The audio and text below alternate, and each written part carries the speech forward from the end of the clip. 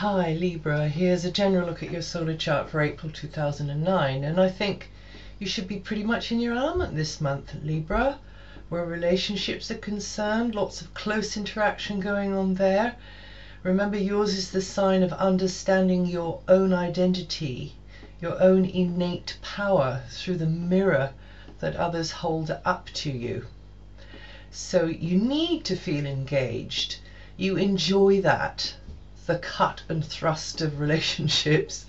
Um, you, you need to feel needed. You need to feel that you are a, a factor in somebody else's life and you like that harmonious flow. Um, you enjoy the cooperation and the collaboration as well in business.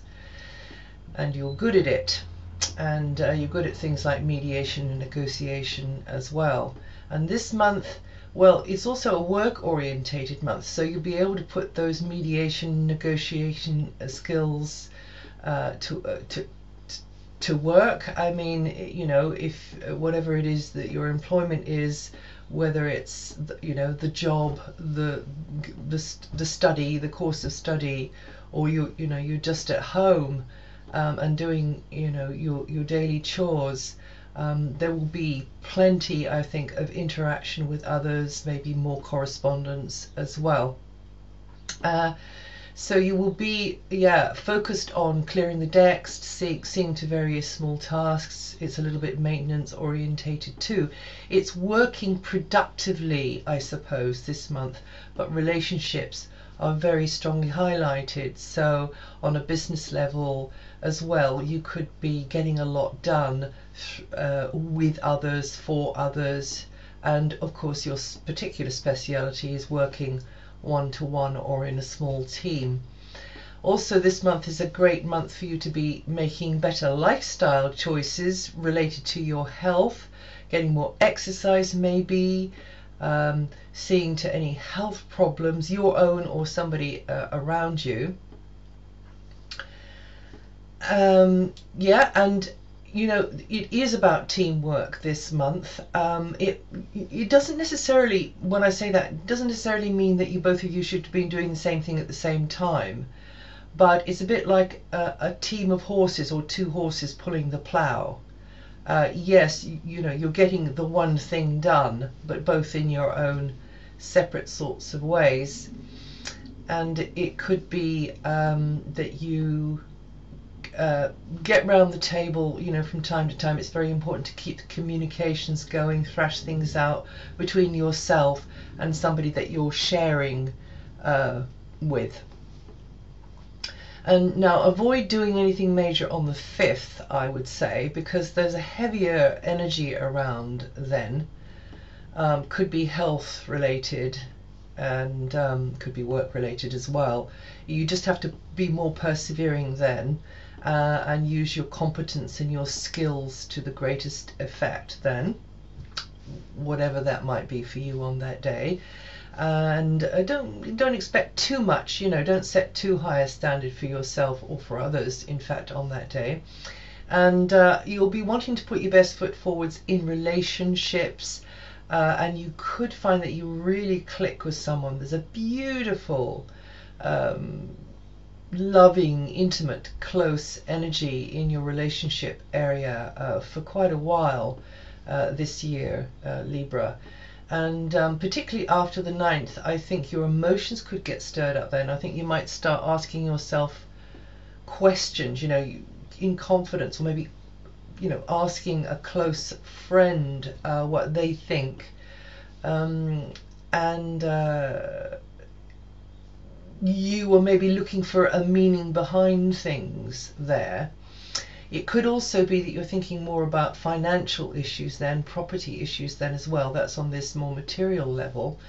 And um, trying to sort things out, you know, trying to plan ahead. Um, but I don't think you're going to really get into swing with those sorts of matters until later in the month. And I think verbal exchanges, you know, when you encounter somebody, when you're, you know, messaging uh, or receiving messages, these sort of exchanges will begin to be more heartfelt after the 9th, that's to say from the 10th of April. You may also want to get to the root of something. You feel as though there's something that's you may be excluded from or which is behind somebody's behavior. You want to get to the bottom of it. Uh, you want to um, go after something which you feel is a little bit elusive, something that's being kept from you. Now, on the 15th, um, something unexpected could happen. Uh, maybe you're working in a different kind of a way. Maybe there's uh, an innovative um, option uh, that you can use, a tool or so on, or it could be health related. So there could be something uh, kind of alternative coming in there, complementary coming in there. And on the 11th, well, uh, that could be a fortunate day for you in your, you know, in a romantic sort of a relationship there, um, or with anybody that you uh, can be more playful with, um, kind of a fun sort of uh, energy around on that day. Between the 12th and the 24th, well, there, there's um, a more supportive, harmonious influence in the work area. It could be a female, the, in, the contribution of a female energy, her input is going to help you in your life in a positive kind of a way. It's a very kind of supportive energy there.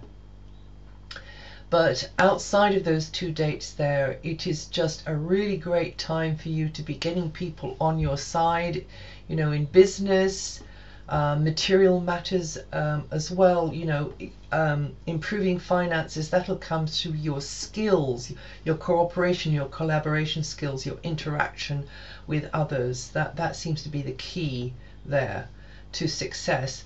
And then when Mars and the Sun move, um, you'll be connecting with others more, but it'll it'll have a, a sort of a, an edge to it, a kind of intensity to it. Um, um, on one level, that'll be you um, maybe uh, wanting to uh, uh, rewrite an agreement or a contract, and on another level, you'll be considering, you know, moral obligations. You'll be considering your integrity, or maybe somebody else's integrity, and you'll be more focused on, you know, deeper feelings inside of you. There'll be more of an awareness there.